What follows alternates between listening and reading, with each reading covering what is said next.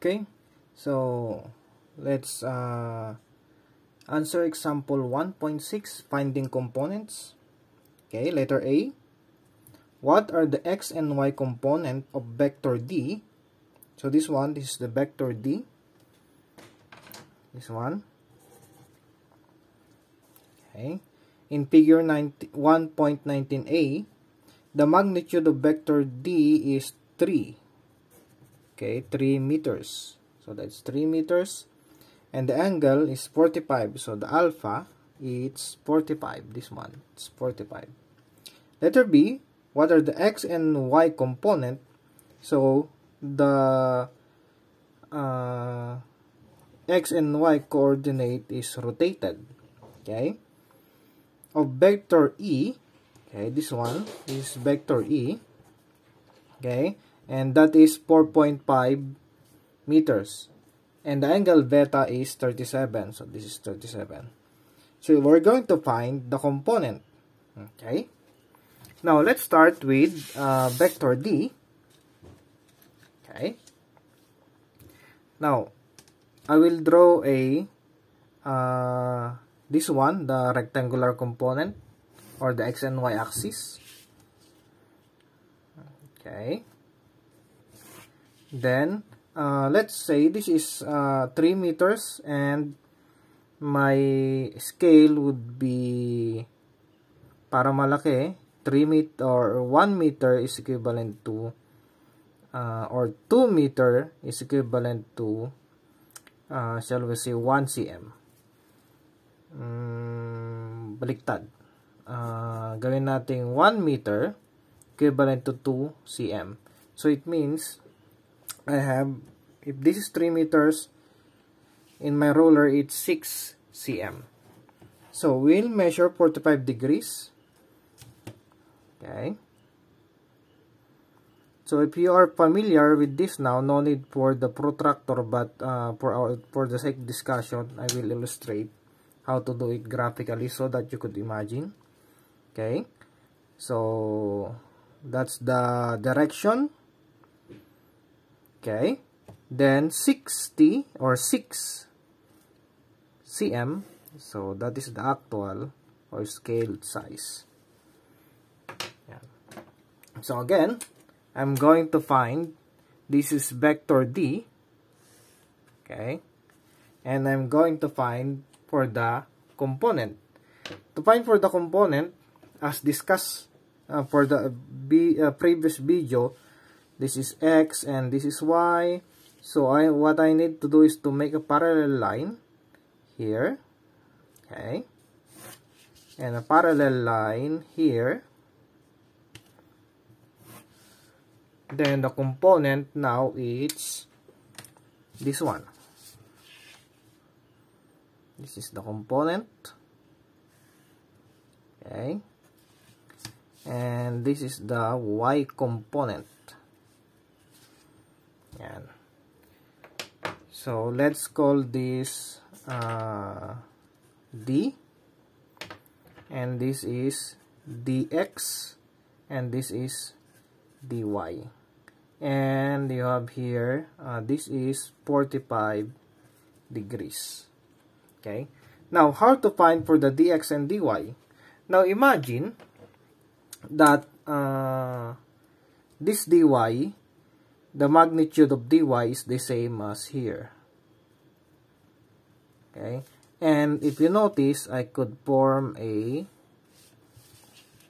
uh, triangle. If I have a triangle, I could use the SOHCAHTOA, especially if this is a right triangle. So again, I'll be using the SOHCAHTOA. If you're not familiar with SOHCAHTOA, uh, what do you mean by that? It's so ka, toa. Okay? Sine, cosine, tangent. Opposite, hypotenuse, adjacent, hypotenuse, opposite, adjacent. So, this is my uh, triangle. I have the D that is 3. Okay? So, this is now the magnitude. This is vector. This is vector. The magnitude is dy. Okay? Uh, this is the hypotenuse, the D. So, to find the y that is opposite, I will use the sine. Okay? So, it means sine 45, this one, equals opposite, that is dy, and hypotenuse, that is 3. Okay? So, the dy would now be, uh, and in this case, it's actually negative. Okay? It's negative. Why it's negative? Because it's uh, going down. It's going down. It's going down. So that is uh, negative 2.1213. Okay? Now, another solution aside from 45 it's you'll base your angle here 0 then uh, counterclockwise like that. Okay? Uh, in this case, no need for the looking at the diagram because let's see. This angle is you have 180 then you have actually this is 360 minus 45 it's uh, how much that is 315 okay so 315 please compute if uh, correct anyway uh, when you say sine 315 equals dy. 3 automatically this would be negative. So dy is negative 2.1213 let's see the calculator. So you have uh, sine 315 okay times 3 that would be negative automatic na okay so that's the dy. Okay that's the dy this one. How about dx? Okay for dx that is adjacent. So you have now cosine 45 then you have uh, dx and 3 amazingly if you notice for 45 45 the x and y component would be the same. So dx it's uh, take note it's going to the right so it's positive it's not negative. 2 1 2 13 now if you use uh, this one the angle that is 315 let's see what will happen. Cosine 315 dx over 3 so now uh, let's see. So that is cosine. So it becomes it's positive. So if you use 3, 315 no need for the up and down right or left automatically that is 2.1213 okay? So that is the uh, dx and dy component for this uh, letter A problem. Okay? Now let's move to letter B. This is the figure. Okay?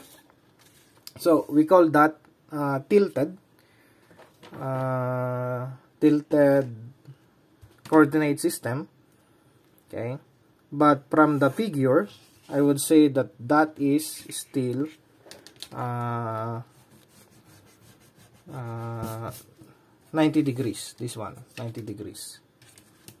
So okay.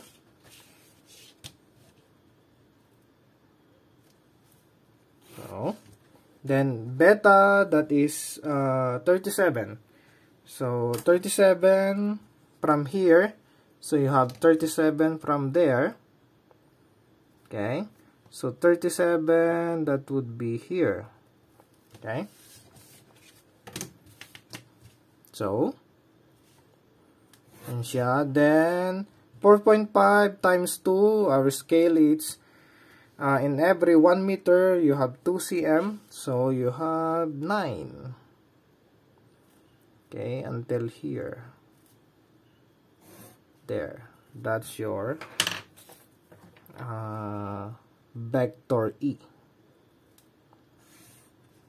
There.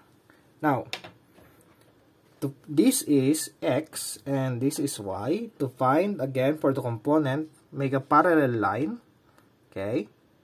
parallel line to there and parallel line to y okay so like that then you now have uh, what's next the this is E and this is the component for EX and this one is the component for EY okay and this is 37 degrees. Okay now uh, similar to that one you can have a triangle this one. Okay here oops. There. Okay. Then we're going to find EY and EX EX is similar or same length. Okay same magnitude. And same direction uh, but different placement. In engineering mechanics there's a, a, difference between the location but in this case uh, let's we can move that EX so uh, how to find for EY so again, so it's like this. You can rotate it like that. Okay, but uh, let's do that. Now, 37 EX, take note that is a sine. Why? Because it's opposite. So sine 37 equals opposite EX over 4.5. So EX now, it's and uh, is this negative or positive? So let's say this is y and this is positive. So this is x and this is positive meaning if my EY it's going to this direction, it's positive. EX is also positive. So it's hard now to use this one. Okay, it's uh, a little bit confusing. So you have to look at the diagram if you are uh, have a tilted uh, coordinate system. Okay, now the answer, uh, let's compute. So that is sine 37 times 4.5, so that is 2.70. EX is 2.7081 and again that is positive because it goes here. Okay? So don't be confused. Don't don't just follow this this one. Okay? Kasi baka mamaya sabihin mo oh, going down. It's going down so it's negative. No. Okay? This one is different compared to this one and it says here it's going down going to this one it's positive. Unless it says here that it's negative so yan okay. Now uh, for the EY so again this is uh, adjacent. So if you're adjacent you now have uh, cosine 37 E oh sorry it should be EY EY ah no no no no no. Uh, nalito na. X pala x. Opposite. And this is EY and you have uh, 4.5 so uh, cosine 37 you now have 3.59 okay? So you have EY that is 3.59 so as he says that if you notice 3.59 almost 3.6 3.6 times times 2 it should be 7.1 my EY is 7.1. It should be 7.1. Close. Okay? So if you have the graphical, especially if you are not very familiar with analytical, the first thing that you do is to have a graphical. So that is for the example 1.6.